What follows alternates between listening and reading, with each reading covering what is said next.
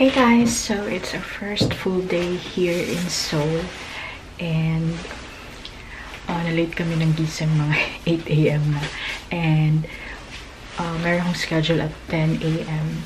yung handbook experience. Uh, kinuha ko siya sa Klook uh, one day handbook so punta na kami ngayon and I'll show you kung ano maging ganap namin the whole day. See ya!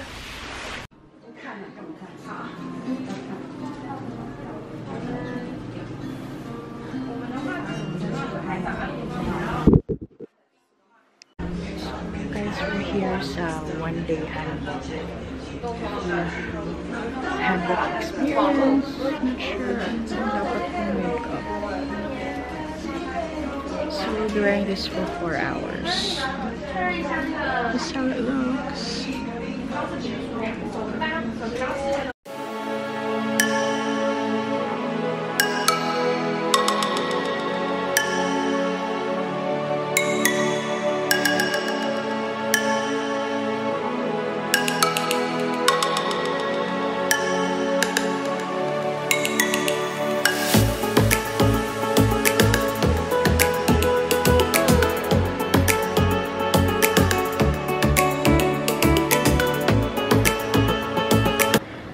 It's the oh, saan nga palace?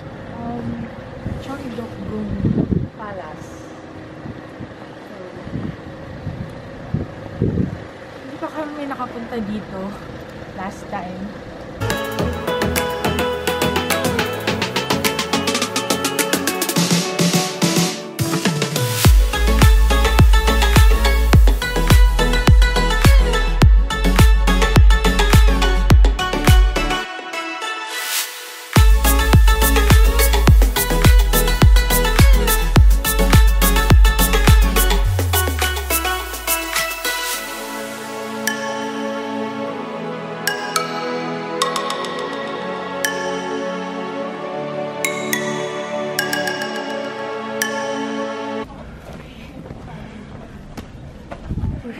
Secret garden.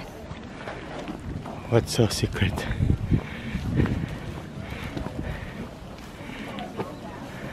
And what's so secret in this garden? Because there's an entrance fee.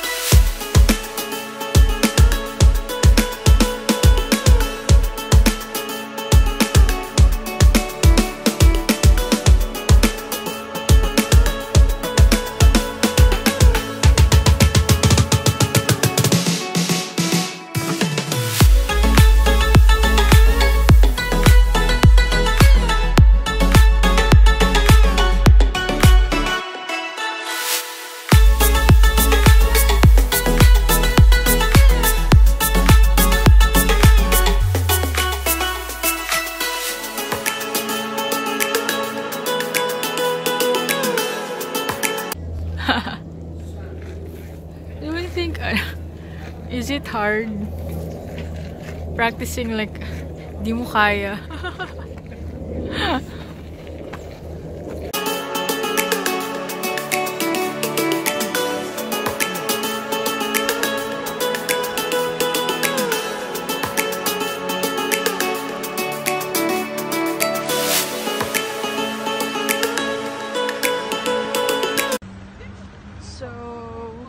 kami ng Gyeongbokgung. Yung phone cam ko na lang ginamit ko kasi na-lowbat yung camera ko. Tapos, hindi ko na-charge. So, yun. For today, yung camera ko na lang yung gagamitin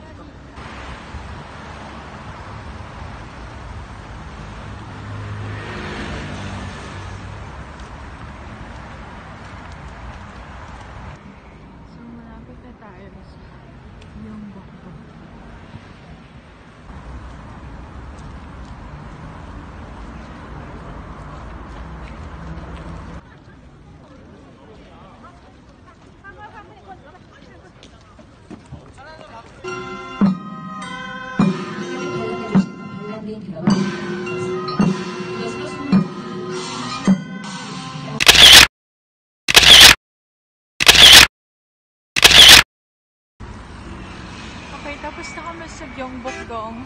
So, isasauli ko na yung hanbok dun sa one-day hanbok. So, 4 hours lang kasi yung ni-rent ko and it's around 600 or 700 pesos sa food. So, maganda siyang experience kasi and nakakatawa kasi madaming nagpo-picture especially yung foreigners nagpo-picture sa'yo kasi natutuwa sila sa costume.